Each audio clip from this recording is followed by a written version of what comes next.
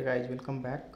So in this today video i'm going to talk about exception in java right?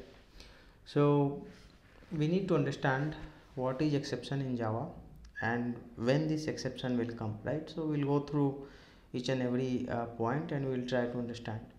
Now what happens is whenever there is any exception in the program your pro the execution of program will stop and it will not execute. If exceptions are not handled.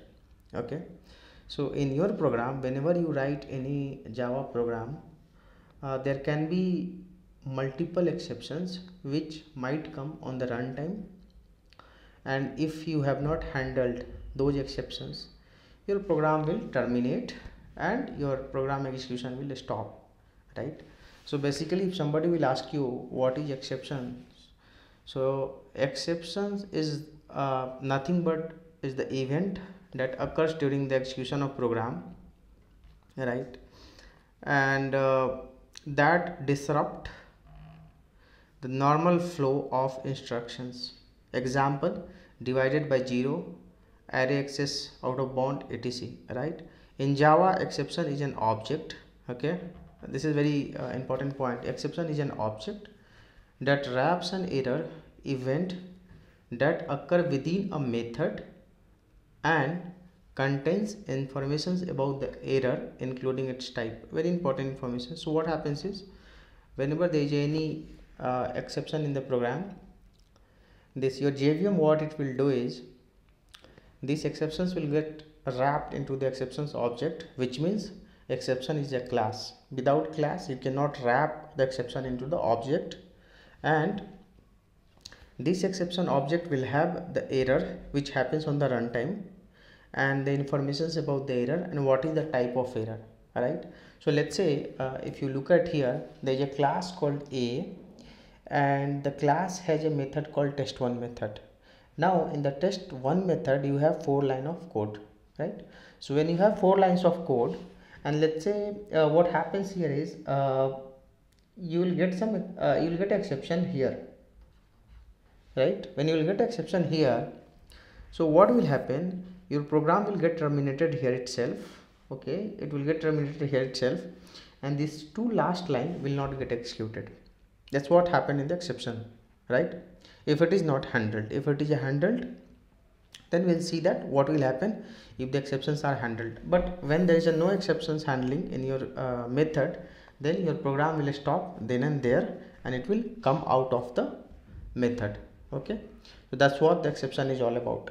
Now we need to understand uh, what is this exception class and how the hierarchy of these exceptions has been defined. So if you look at here okay this is the pictorial representations of your uh, exceptions and the hierarchy. So whenever there is exception in your class there are two kind of exceptions. One is runtime and one is compile time right so these are the runtime. The runtime means the exceptions which occurs the exceptions which occur when you run the program right? That we call it as runtime exceptions. So whatever you are seeing that arithmetic exceptions uh, null pointer number format array index out of bounds so these are the exceptions which will come only on the runtime. The runtime means when you are running the program these exceptions uh, might come right? Then what is compile time? The compile time means the moment you write the program the compiler will ask you to handle these kind of exceptions like input output exceptions sql exceptions class not found exceptions. So whenever you have this kind of exceptions in your program that compiler itself will tell you to handle this kind of exceptions at the compile time itself this guy will come on the runtime so we don't have control. But this can uh, this will come at the compile time right? Now this runtime extends exception class. Exception is the class in java okay? And this exception class will extend throwable so throwable is another class in the java. This this, this guy is the parent class. Again uh, apart from exceptions what can happen in your program is there could be error in your program right? So the error is the one which you cannot handle once the error will come your jvm will crash and uh, you cannot recover your program. So error means when you have a stack overflow right?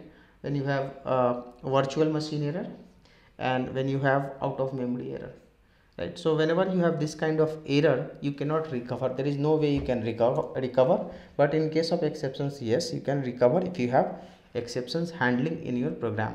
We will see that how this handling will happen. Here we will try to understand. This is a hierarchy of your exceptions like runtime extends exception exception extends throwable even the error this error extends throwable okay and the error is nothing but your step uh, that stack out of uh, overflow virtual uh, machine error and out of memory error.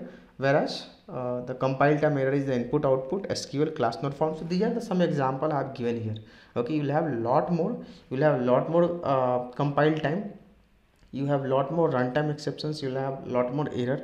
But here i have given some examples so that you know you can memorize this and you can understand how the hierarchy has been decided right?